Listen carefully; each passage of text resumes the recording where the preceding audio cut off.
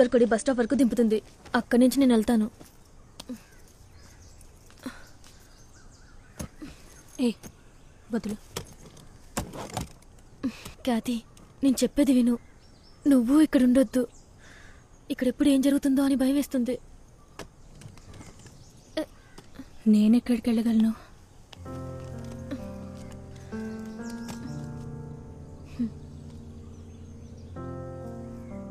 పోనీ నాతో వచ్చే ఇంకో ఉద్యోగం దొరికేదాకా మాతోనే ఉండు. లేదు సెల్వి నా వల్ల నీకెందుకు ఇబ్బంది? పర్వాలేదులే నేను చూసుకుంటాను. మరో ఆలోచన లేకుండా వెళ్ళి త్వరగా వచ్చాయి.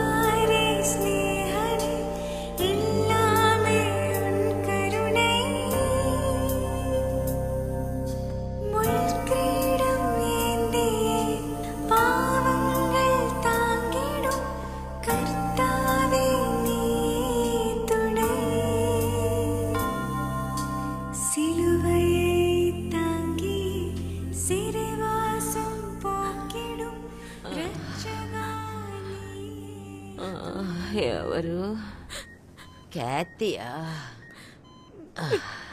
ఎస్ మధు బాగున్నావా ఖ్యాతి ఎన్నాళ్ళైంది నిన్ను చూసి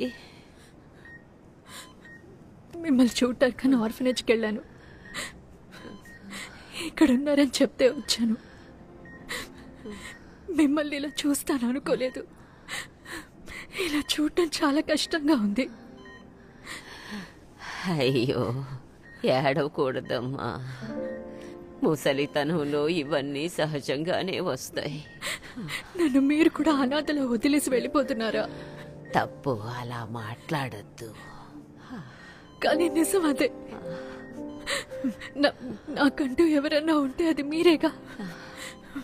నాకు ఇంకెక్కడ తల దాచుకునే చోట్లేదు ఆ దైవం ఉన్నంత వరకు నువ్వు అనాథవి కాదు.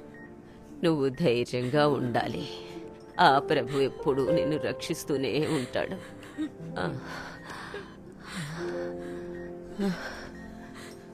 బాలా వాళ్ళ నాన్న నువ్వేనా? వాళ్ళ మావయ్యన్ సార్. తను చనిపోయిన తర్వాత నా కూతురు ఇంకా మనవడు నాతోనే ఉంటున్నారు సార్. సరే గాని ఆ యాక్సిడెంట్ గురించి నీకేమన్నా తెలుసా? ఏం చెప్పమంటారు సార్? అసలు ఆ ట్రక్ వెళ్ళి ఆ చెట్టుకి ఎలా గుద్దుకుందో పోలీసు వాళ్ళకు కూడా ఏమీ అంతుపట్టడం లేదు సార్. బండేమో కొత్తది మంచి కండిషన్లోనే ఉంది. మా అల్లుడు బాగా అనుభవం ఉన్న డ్రైవర్. తాగి బండి నడిపే మనిషి అయితే అస్సలే కాదు. అయినా కూడా ప్రమాదం జరిగిపోయింది. సార్ మీరు రావచ్చు. ఆ రోజు రాత్రి లారీలో ఏ సామాన్ తీసుకెళ్ళారని మీకేమైనా తెలుసా? తను మామూలుగా తీసుకెళ్ళే కాయగూరలు పళ్ళు లాంటివే ఊళ్ళో పండే ఇవన్నీ తీసుకుని లోకల్ టౌన్కో కోవైకో తీసుకుపోయేవారు. యాక్సిడెంట్కి ముందు ఎలా ఉండేవారు? ఏవైనా సమస్య లాంటివి? తన తోటి వాళ్ళతో చుట్టాలతో కానీ? లేవు సార్. తన పనేదో తను చూసుకుని ఎవరి జోలికి వెళ్ళేవారు కాదు. వేరే ఏ విషయాల్లోనూ తలదూర్చేవారు కాదు. మీతో ఇంట్లో ఎలా ప్రవర్తించేవారు? కోపడేవారా ఆయన అసలు నన్ను కోప్పడ్డం. నేను ఇప్పటిదాకా చూడలేదు సార్. తన కొడుకు మీద ఒక్కసారి కూడా చేయి చేసుకున్నదే లేదు. పిల్లాడి మీద ఫలమాలైన ప్రేమ చూపించేవారు. మీ ఆయన చనిపోయింది యాక్సిడెంట్ వల్లే అని మీరు అనుకుంటున్నారా?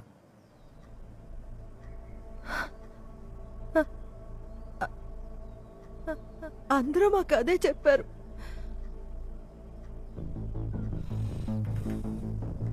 మీరేమనుకుంటున్నారు?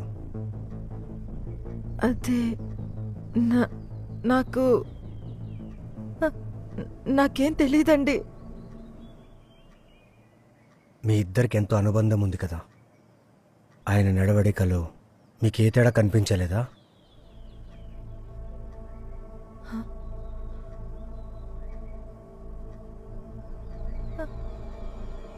భయపడకుండా మనసులో ఉన్నది చెప్పండి. అది యాక్సిడెంట్ అవడానికి వారం ముందు నిద్రపోవడానికి చాలా ఇబ్బంది పడేవారు సార్. ఆయనకి ప్రతి రాత్రి పీడ కలలు వస్తున్నాయని తను చెప్తేనే నాకు తెలిసింది. ఏదో ఏదో తెలియదు కానీ ఆయన కలిసివేసేది ఉన్న పాటుగా అర్ధరాత్రుల్లో ఆయన లేచి నన్ను వదిలిపెట్టు నన్ను వదిలిపెట్టు నన్ను వదిలిపెట్టు అని గోడ వైపు చూసి గట్టిగా అరిచేవారు సార్. నాకు కూడా ఏదో ఆయన అంతగా కలవరు పెట్టింది. ఆడదేవే సార్. ఆ తర్వాత వారమే నేను గుడికి పోయి పూజారి గారితో మంత్రం వేయిద్దాం అనుకున్నాను. షిఫ్ట్కి పోయిన ఆయన తిరిగి రానేలేదు సార్. తిరిగి రాలేదు సార్.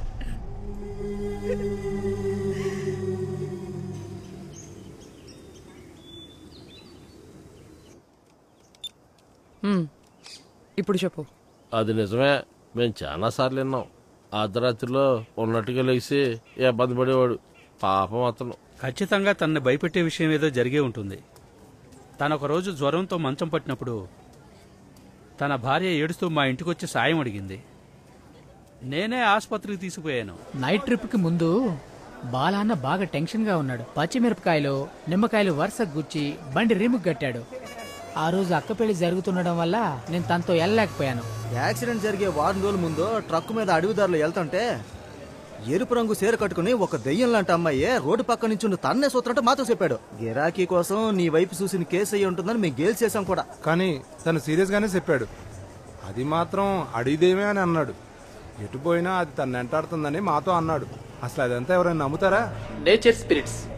అవేంటంటే నీరు నిప్పు గాలి భూమి